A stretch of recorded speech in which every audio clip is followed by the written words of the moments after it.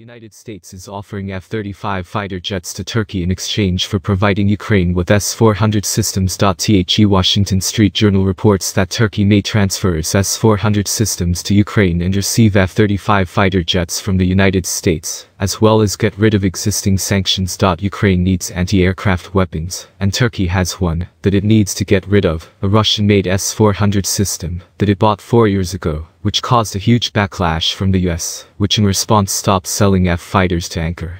35.